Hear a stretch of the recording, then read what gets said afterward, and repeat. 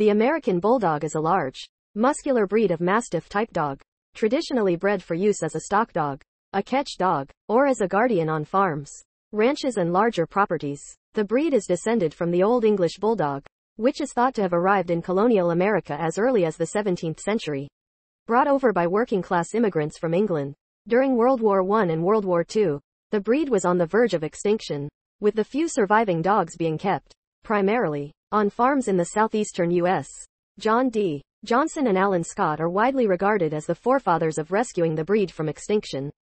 On January 1, 1999, the United Kennel Club first recognized the American Bulldog.